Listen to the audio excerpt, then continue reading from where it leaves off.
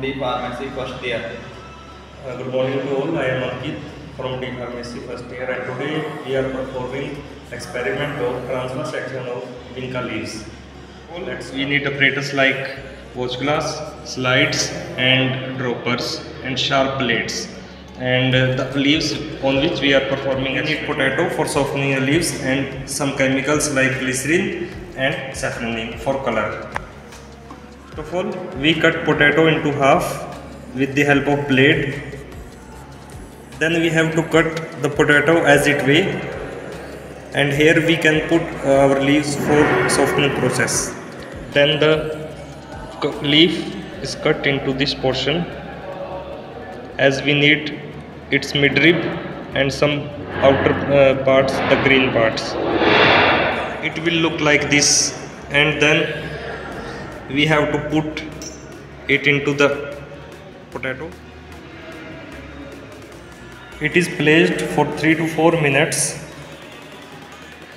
We need a thin section of the leaf for the experiment. We have three watch glasses. Uh, in first of all first watch glass we take water and then uh, safranin and then also water then we then we cut a thin layer of the leaf. It should include the midrib and the green part. It should be carefully done.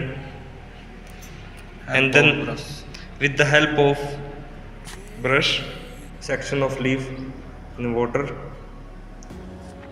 As you can see we have cut many sections of the leaves. It is they are thin then we select one. Then we select one of the thinnest portion and we put it in safranin it is placed in safranin for 2 to 4 minutes and then uh, it is extracted out and put in, in water for washing.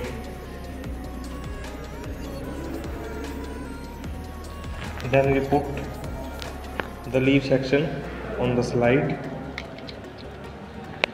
and put some glycerin with the help of dropper.